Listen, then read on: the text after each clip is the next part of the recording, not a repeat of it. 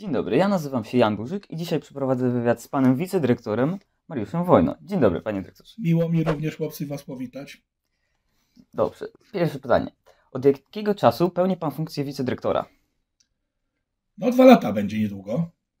W 2020 roku, 1 września, rozpocząłem pracę na nowym stanowisku zastępcy dyrektora szkoły. Czyli poprzedni rok szkolny i ten obecny.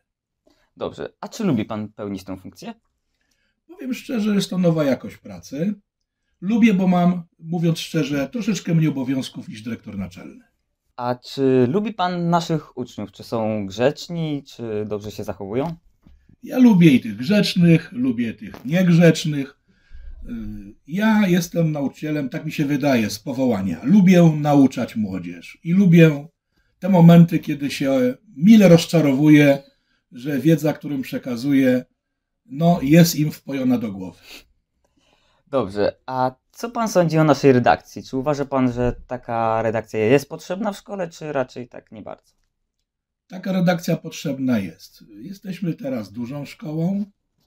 Mamy troszeczkę starszą młodzież, która może zająć się poważniejszymi rzeczami. I powstanie takiej redakcji, działalność takiej redakcji jest bardzo poważną sprawą i ona powinna być rozwijana. Uważam, że pan dyrektor powinien dołożyć różnych wszelkich środków, żeby wam zapewnić jak najlepszą jakość pracy. I wszyscy pracownicy szkoły, i dyrekcja, i nauczyciele, a także personel Ministerstwa Usługowy powinni wam, chłopcy, w tym wszystkim pomóc. Ostatnie pytanie. Czy ma pan, e, jakie ma pan plany na polepszenie standardów w naszej szkole? Przede wszystkim e, chciałbym tutaj poprzeć plany dyrektora dotyczące wyposażenia wszystkich pracowni sprzęt audio-wideo, sprzęgnięcia nawet tego wszystko w jedną sieć. Taką sieć mamy, jest to możliwe. Pewnie to jest praca dla programistów.